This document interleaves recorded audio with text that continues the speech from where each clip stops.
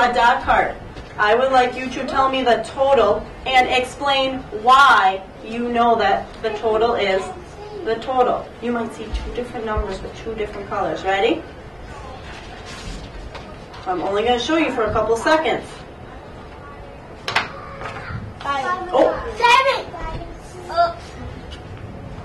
All right, hard one. All eyes on me. Ready? Ooh, Brian, what's the total? nine. Who else had nine? Oh, lots. That is a total of nine. How did you see nine, Dahija? Three.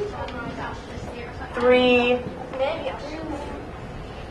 You saw three Three red. red and Okay. so three red and three green. That's it? Hmm. And three more. Ooh, so you saw three plus three plus three equals nine? Ooh.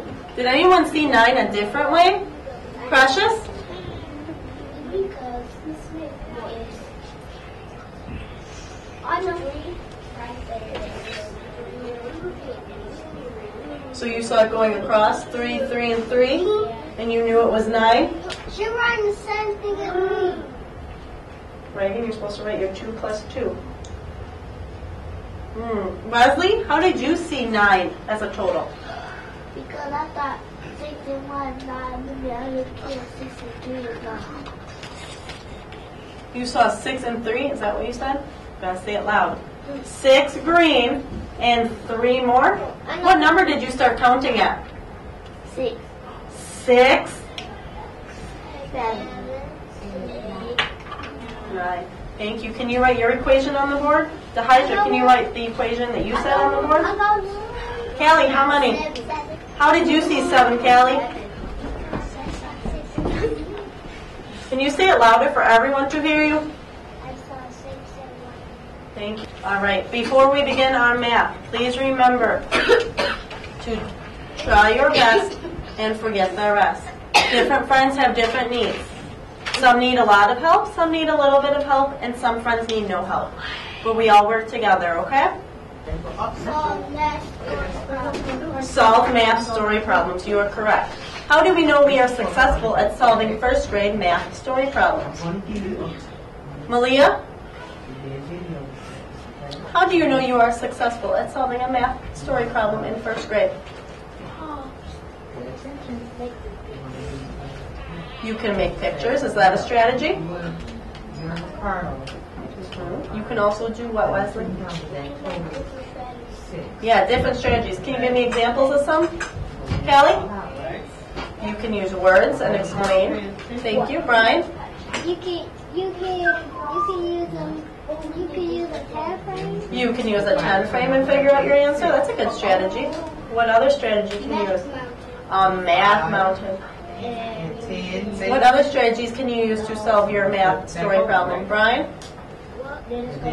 What other math um, strategy can you use to solve a math story problem? Number line, Miss O's favorite. Keontae? A 10 stick. Oh, I like that one. So hundreds chart? Yes, you can use the hundreds chart. All right, are you ready to do your very best math story problem? Okay, let me show you what you're going to use. All right, what we are going to do today is use whiteboard. I thought we were doing it. If you need it, we're using whiteboard markers and erasers. You will each get you will each get a story problem. You will have to solve it using any of those strategies you just suggested to me, showing me how you know, and then I'll come up, check it. If it's right, thumbs up, Callie, and then you can take another one, That one? okay? When you are done practicing on the whiteboard, before you get to playtime, I have some more. Here, you two Oh, go to the page. Do you read it? I'll help you read it if you need help. Okay, but I want to see what strategies you can use to figure out the Walk question. around.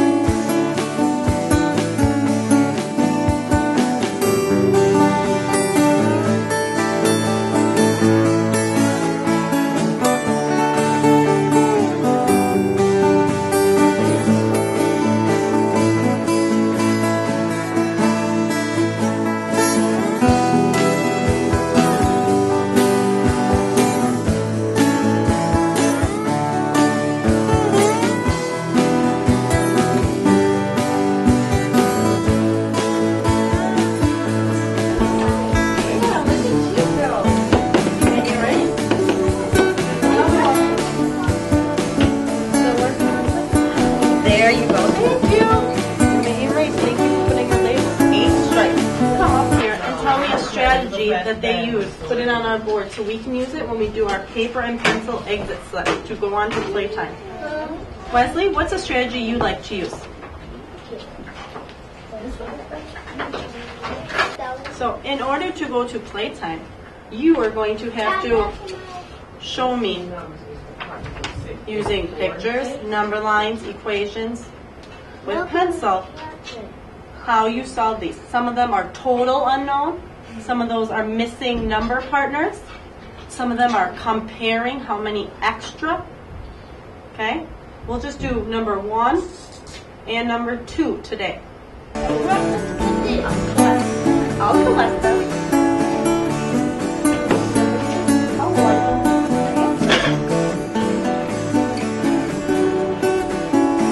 For his prize, he was given